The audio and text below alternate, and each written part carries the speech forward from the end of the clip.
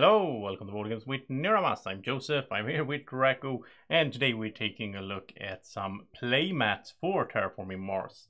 These are from Deep Cut Studio, and I start off here, I just wanted to start off with everything basically on the table. So this is just a setup I did just to show you how everything fits on the playmat on the table. And then I will go through the more in detail. And there's another playmat under here as well, so we're going to look, take a look at both of them. But first off, just a quick overview. It's really cool. We have like the we have new awards, new milestones. Over here we have room for the turmoil event cards. We have the distant. We have the coming here, and then of course the current global event.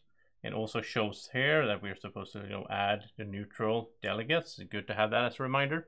The parliament itself is here. Everything is out here and really nice you have like the lobby you have the storage there for everything and all these. And the venus the venus track up there you know and i am using 3d tiles that have 3d printed and so on. I will show you in a little bit how it looks with the normal you know game tiles. On the actual map over here we have some special things. So in the middle here we have a spot. So this is the vastitas borealis the northern waste. So in the middle here we have a spot where it's like, I don't know, it's like ice. And then if you place a tile here, it will raise the temperature, but it costs you four mega credits to do so. And there's a lot of interesting spaces out here. Another interesting one here is that you actually get to place a delegate as a placement bonus. So that is totally. Now this, by the way, is a fan-made design. The, both of these mats are designed by a fan. Arnd Drifte, as it says uh, down here on the mat, has made these. And, you know, good job. I haven't, you know, played with them yet. I don't know how balanced everything is with these, but obviously it's, you know, play testing and so on, I guess. So really cool and really fresh as well. A new way to play here. Over here, I think it's really nice that we have room for all of these colonies. So you have colonies on the same space as well. I think the setup would be so nice for this, you know, because you don't have to pull out all the different pieces, put them on the board. You have just roll out the mat and everything is there. And over here on the left side, also cool, I really like this part, where we have the standard projects, sort of like normal. So you have, you know, we can sell the patent, you know, power plant, asteroid. But then we also have like 15 here for raising Venus, the air scrapping. So it's on here, 17 to build a colony. We have the TR solo only, then you have the buffer gas for 16, you can raise your TR. And the misc here is 5 mega credits to place a delegate. And then you have the cost here to trade, send it out a trade vessel out here. And then down here you have all the party bonuses, the bonuses and the policies. So you have everything easy to access right there on the map. So I am looking forward to play this with my friends and I, I will also make a solo playthrough with one of these uh, or maybe both and see how it goes with a different map. Of course in solo uh, some parts you know, we wouldn't use all these spaces and all that, but we'll see how it goes. Now, let's take a closer look on the milestones and awards and the actual mat number two as well. All right, so back here, and I did mention I am going to show you just how it looks, you know, the tiles here, and they look to fit very nicely on the map, so no problem there. There is one thing I did notice though, there's no space to put this, you know, you put the nine ocean tiles in a stack. There's no space for that on this mat, which I thought was a bit weird. I'm not really sure why. it seems strange, but it's not a big deal, I guess. But it, it was just, just interesting that that's not here. All right, let's take a closer look on the milestones and awards. So I haven't really, you know, I haven't played with this. I am not 100% sure what everything here means that the agronomist seems to be a milestone here for for having four plant tags. I would assume this would be Spacefarer 5 space tags. That's pretty easy to do. Geologist, not really sure what that means, that symbol. Uh, you know, you can look that up, obviously, if you know you get these mats. And then engineering, or engineer seems to be a combination of production of heat and, you know, have, have 10 combination of heat and energy. Again, pretty easy to do, right? Farmer 6, I'm not sure what they mean by that. They show like a green, dark green and a light green cube. Not sure what they mean. 7 floaters for Hoverlord. And that's of course 5 points. It's nice that it says like first claim, second claim, third claim. I really like the, the design though. And over here, so Traveler, I think, is that like Jovian tags and Earth tags maybe? Landscaper, not sure if we're supposed to build in this configuration or something. Highlander again, I don't know, building not next to an ocean, not sure. Promoter, is that event tags maybe?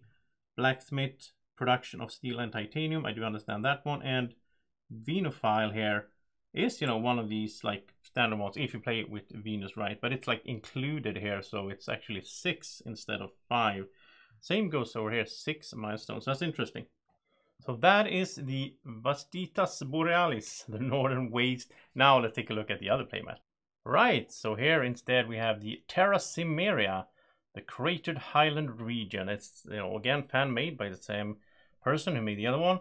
This is a bit of a just reverse here. We have the colony tiles over here. And again, if you don't have these like 3D tiles here, you know, you can check it fits really nicely in there and so on.